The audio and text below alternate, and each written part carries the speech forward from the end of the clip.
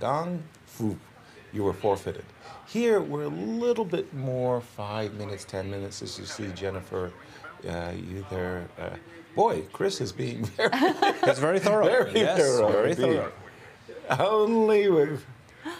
And that is an interesting scanner. I've got to ask him about it. Looks like it's got all kinds of impressive settings. Yes, and we also can see now on our screens Hans Niemann. He, everybody is checked carefully. But Right. what is, was interesting, the, the arbiter said yesterday during the technical meeting that no matter what, the time uh, will start. Yes, of the clock. We will start at Yes. one, said Franc uh, Yes. Guadalupe. Yes, our chief arbiter, Chris Bird, is uh, the chief arbiter for the For ladies. women. Yes, Section. right. And Arena Arena is like, come on, come on, let's get going. And you see there's somebody else being wanted in the back as